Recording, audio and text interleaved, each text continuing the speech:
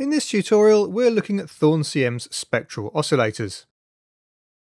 Load up an instance, click on the oscillator browser, and you'll find a massive array of preset waveforms to choose from.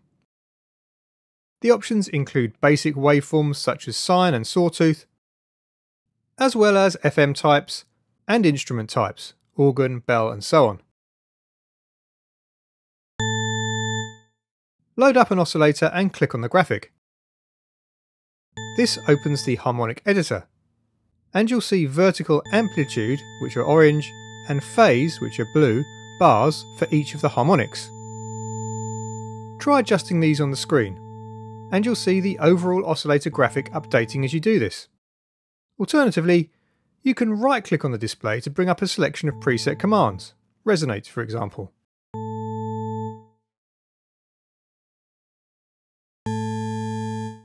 This is all good stuff, but Thorn CM then provides this capability across 16 frames.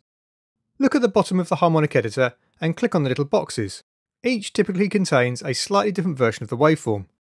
As you click on each frame, you should also see the position control next to the oscillator waveform moving.